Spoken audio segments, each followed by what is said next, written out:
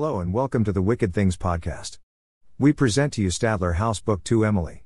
How would you move on if you suffered the terrible loss of your family at a friend's hand? That is what Emily Stevens has been trying to do for almost two decades, but her past seems hellbent on haunting her till her dying days. She has continued to suffer and now finds herself locked away in a mental health facility. Dr. Stadler, hypnotized and forced her to forget parts of her past, before his incarceration. Dr. Waters, under court orders, continues to try and determine if Emily is sane enough to stand trial for murder. Rodney has moved on as one of the two survivors of the Stadler House massacre. But it seems fate has put him and Emily in a direct path towards one another. Who knows how this will all end or if it will end? Otherworldly forces are clearly at work in this small town of Port St. John, Florida. Emily sits in the courtroom, across from the witness box. Brenda Day and Dr. Stephen Smith give testimony corroborating the involvement of his staff in the events that took place at the house of James Hill. Brenda Day, the 40 plus year old Hispanic senior hospice nurse, squirms in the witness box, wearing her purple dress and dress coat. She fidgets with a piece of tissue paper, dabbing the corners of her eyes. Malcolm McConnell, the well dressed young lawyer, paces before both witnesses, asking poignant questions to Brenda all to create a story that fits his need to convict Emily, but not to incriminate the witnesses. Dr. Stephen Smith, well dressed as always in the most current suit and tie combo. They trained him to deliver testimony on the witness stand.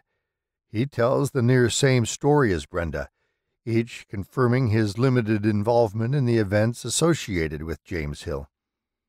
Tammy Knowles, a highly paid secretary of Dr. Smith dresses trendy for someone 10 years her junior. Her attractive curves hold every man's attention and imagination in the court when she's called to give her account of events leading up to the tragedy. Stephen waits for the attorney to ask him each question. He elaborates on Brenda's story when prompted by the young state's attorney. Stephen, Ever the professional speaks slow and concise into the microphone. Emily could tell he rehearsed his testimony, and that the Home Office decided she was blamed for the tragedy. Mrs. Day, can you expand upon what you called the last straw in your police statement? Brenda fidgets with the witness box microphone. Beads of sweat form across her wide, high arched brow. She nods clears her throat, and leans into the microphone. I was sitting at the kitchen table finishing my care report for Mr. Hill. Up to that point, it had been a, a thankfully uneventful day. I had poured a fresh cup of coffee to help me stay awake for the coming night shift. I had already been there beyond my scheduled 36 hour shift with him. The rugged ranch style home stands amidst the torrential downpour and gale winds of the approaching hurricane. These first feeder bands contained high winds and dangerous lighting. The earthy smell of the decaying leaves, cypress trees, and old wood fills the air outside of the home. The pouring rain pauses temporarily between the bands of heavy winds and driving rains this allows an interruption in the quiet and stillness with the voice of James Hill shrieking loud against the night. Stop it! Get away from me! Please! Leave me alone! Medical devices glow, hum, flash, flicker, and beep throughout the master bedroom of James Hill's home. The center of the room finds itself occupied by an adjustable hospital bed complete with an occupant. The elderly man has IV lines and wires running from him to the medical instruments. Heavy dark drapes hanging against the windows of the room help muffle both noise and light from entering or leaving the room. James Hill lays flat on his back atop the hospital bed, with his arms trembling defensively in front of himself. James yells into the air, No! It's not my time. Brenda leaps up from the kitchen table after hearing the elderly man's cries for help.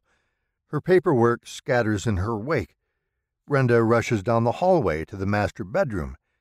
She slams against the bedroom door, but it does not move. Brenda bangs against the door to open it. Mr. James? Brenda calls out. The door won't open. What's going on in there? She slams her shoulder against the door, forcing it to open enough to peek inside.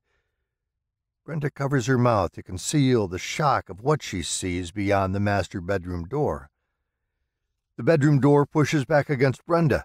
She loses her footing and gets sent tumbling backwards across the hallway against the locked child's bedroom door. She collides with the bathroom door, creating a resounding thump. Brenda looks up to the door opposite her, rubbing her head and neck. The heck was that?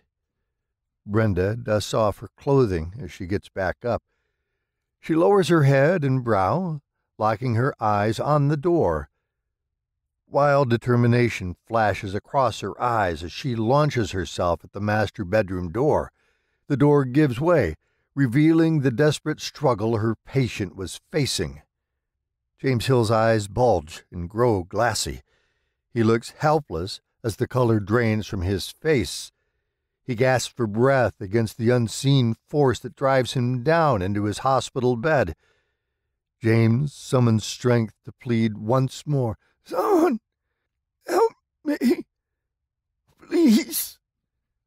The master bedroom door tries to close shut on her, but the hospice nurse forces it to stay open. The top corner hinge of the dirty brown wooden bedroom door falls free from its attachment to its frame. Brenda loses her balance and staggers past the door.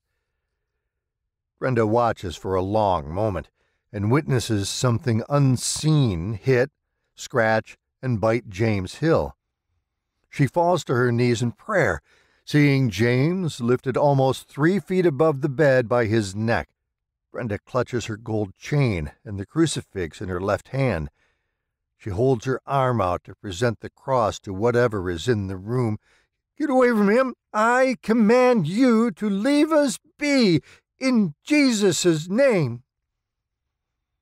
Brenda struggles to keep her arm extended against an unseen force pressing against her.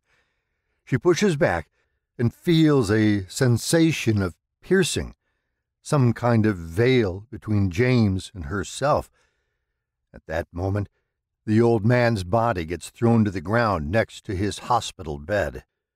Brenda makes her way to James's side he continues his struggle against the unseen adversary. She grabs his arms but finds wrestling the elderly man's arm difficult. She lays herself across his chest, pressing his arms down under her weight. The medical machines in the room spark and turn themselves off and on. The sounds of the devices creates a chaotic cacophony of digital noise.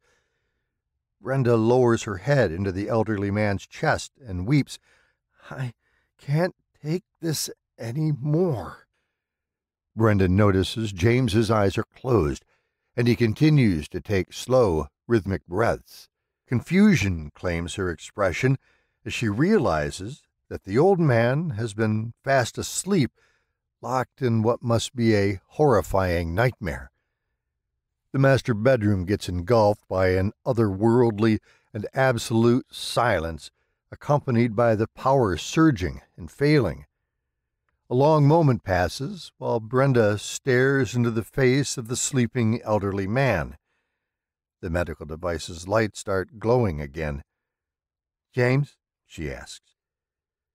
Brenda trembles, looking around the room, trying to get a hand on the current moment.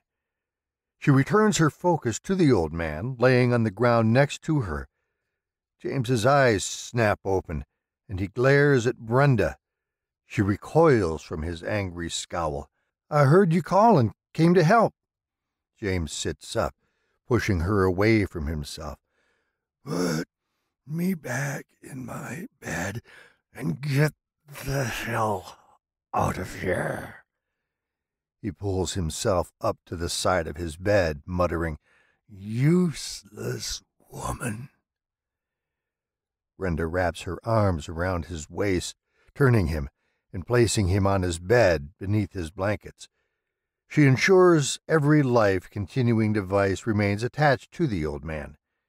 Her voice trembles with fear, but she regains her composure and reassures him. I was trying to help you. What happened? We should leave. This place is bad. James snarls at Brenda, with saliva frothing and falling out of his open mouth. He sneers at her, with malice in his eyes. He seizes his bedpan and raises it high above his head. The motion sends the contents of the bedpan to the air, coating small spots on the bed and his pajama top. Don't you ever come in here. You hear me, bitch? The odors from the contents of the bedpan fill the room with the stench of digested and undigested waste.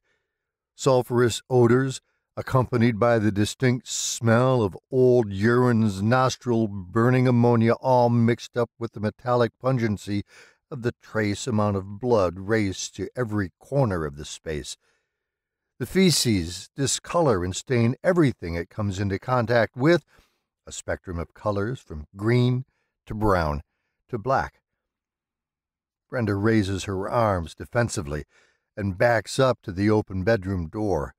She steps through the threshold of the master bedroom doorway and grabs the door handle. You crazy son of a bitch, I can't believe I ever felt sorry for you. I'm done. James throws the bedpan at Brenda.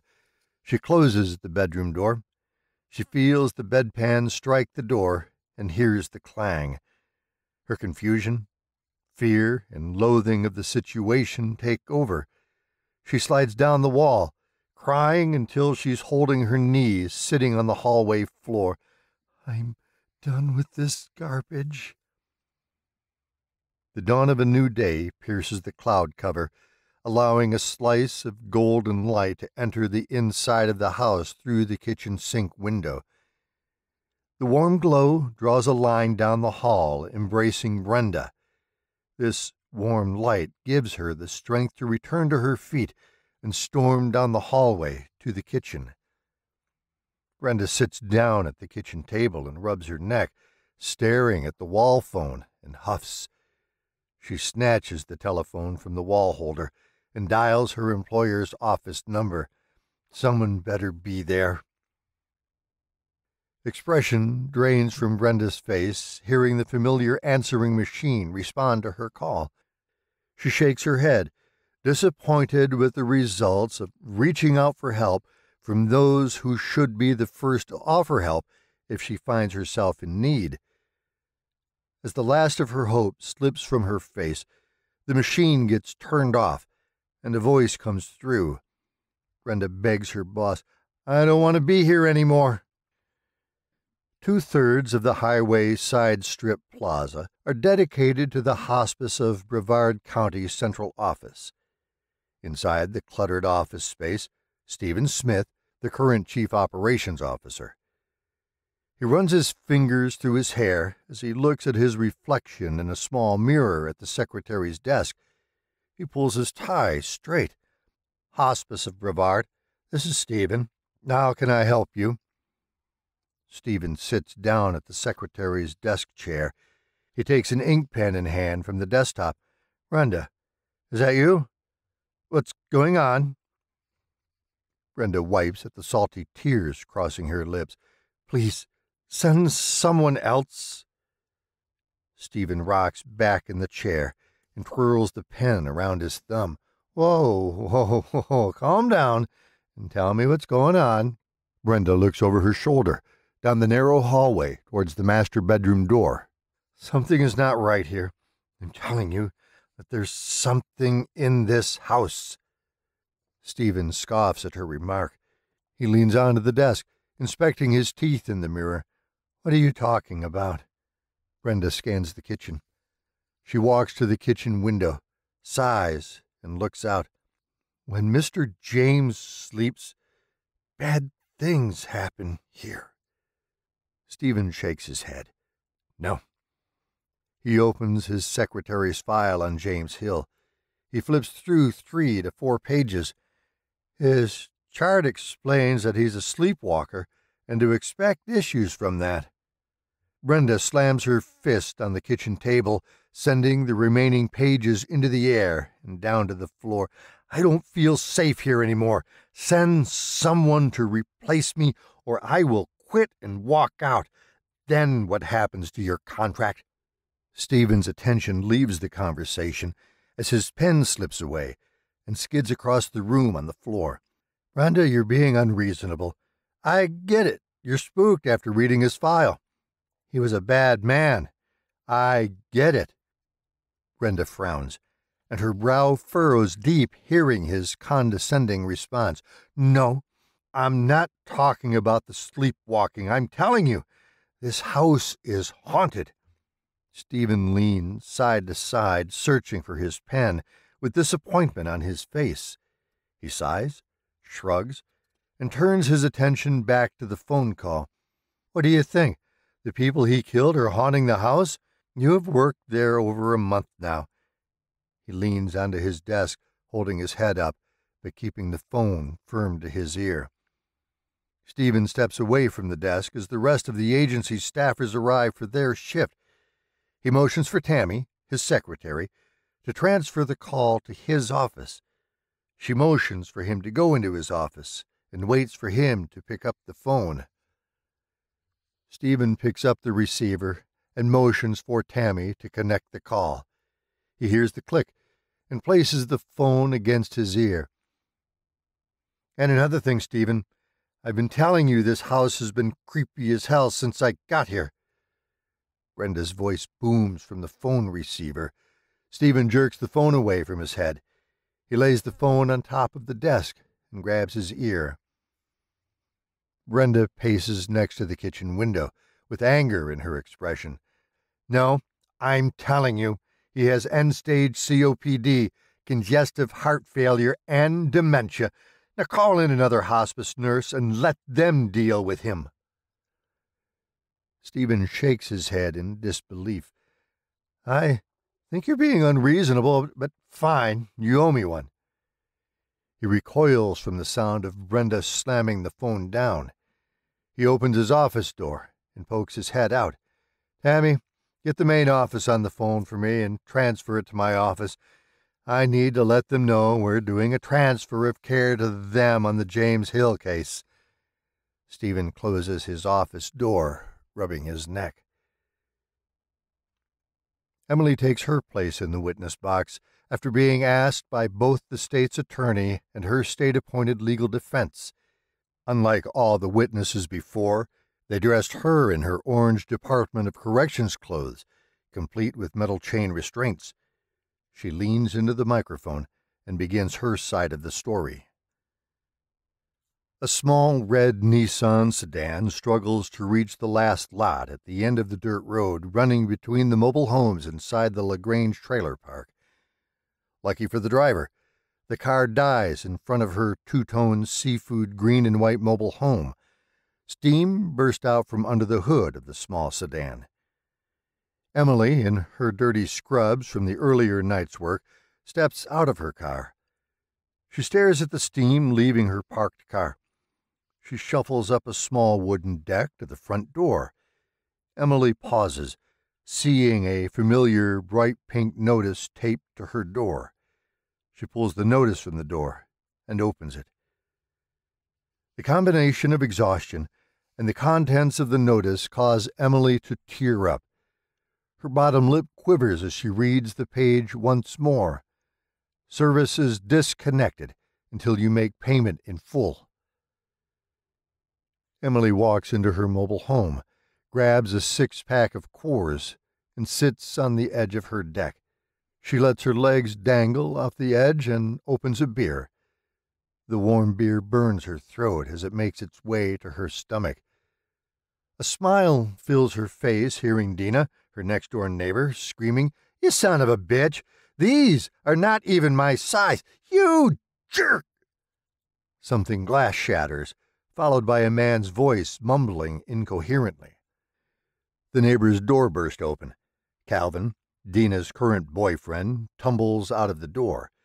He stumbles and falls down the frail metal stairs attached to their home.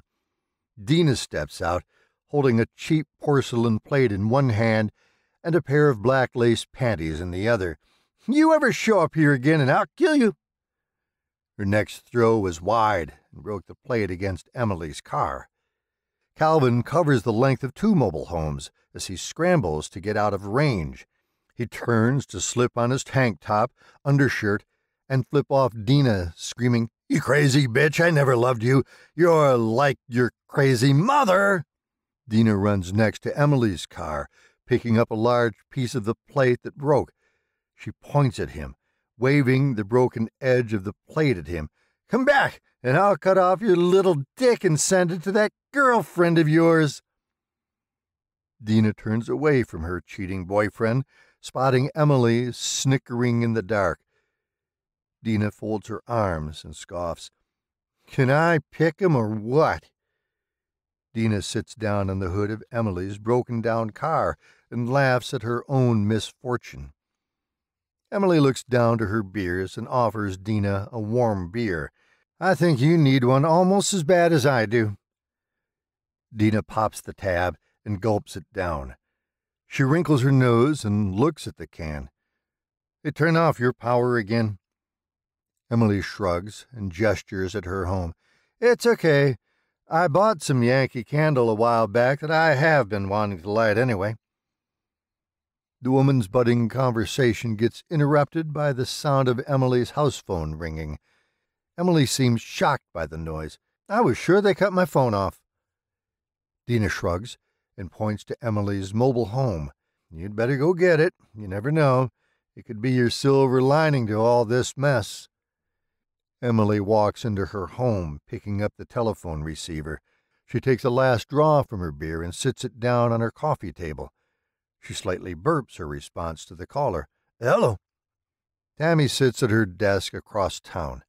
A smile crosses her face once the phone gets answered. Emily, thank God I caught you. It's Tammy. Emily tosses her blue wool blanket off the back of her recliner onto the sofa. She flops onto the chair and releases the leg rest. Yeah, Stephen's secretary. Is everything okay?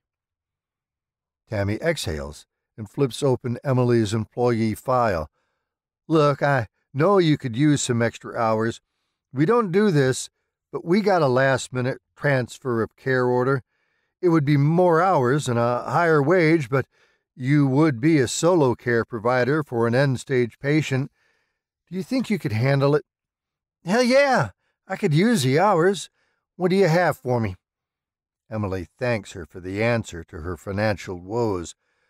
All right, to me it looks like late stage COPD, congestive heart failure, and dementia. I don't understand why they pass it on unless. Emily interrupts, curious about the details. What's wrong? What did you find? Uh, nothing. Looks like the live in nurse wants immediate replacement. We need you to leave right away. You know, I finished a 12 hour shift and haven't even showered off yet. Emily shakes her head, her state of exhaustion almost coming across as her pleading for everything to wait until tomorrow. Sorry, if you want the hours, you need to tell me now. I can find someone else. Let me get my overnight bag ready. You can tell them I am on my way. Emily glances across the street seeing two children at play under the streetlights. Lee, the dark haired older boy, slips a white sheet over his head and chases Jeremy, the other, around the dirt parking lot next to the trailer park public use laundromat. I will get you, Jeremy. I don't believe in ghosts. You can't hurt me, Lee. Emily smiles at the boys, but her attention returns to the call she had been ignoring for the past moments as she watched the boys play. Okay, Tammy, call them and tell them I am on my way. I'll leave right now. Okay, I will call them and let the nurse know. She will fill you in on the full details and pass on the charts to you. I'll send the address to your pager, okay? Sounds great. Thanks for the help. Emily hangs up the phone. She packs three clean sets of scrubs. She slams the door behind herself and practically runs to her car. Emily throws up the car hood and fills the radiator from the hose attached to her mobile home. Emily throws her overnight bags into the back seat of the small sedan. She hops into the front seat and starts the car. The child in the ghost costume wrestles the other child to the ground. I told you I don't believe in ghosts. You can't hurt me. I told you it doesn't matter if you don't believe. I can still get you. I'm telling Mom, go ahead. She can't help you. I'm a ghost. Emily drives out of the dirt parking lot of the trailer park. Lee and Jeremy stop wrestling long enough to wave and smile as she drives past. Lee turns to Jeremy and pounces on him. I really like this Stadler House series.